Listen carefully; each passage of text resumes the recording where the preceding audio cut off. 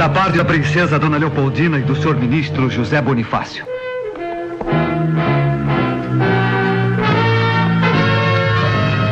De Portugal nada mais temos a esperar, senão escravidão e horrores.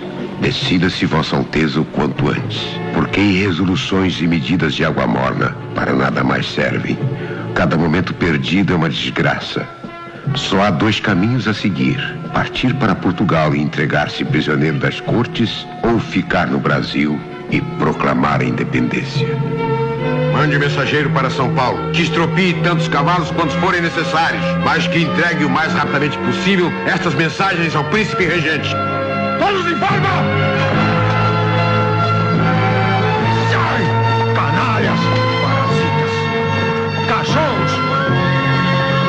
Imbecis estão pensando?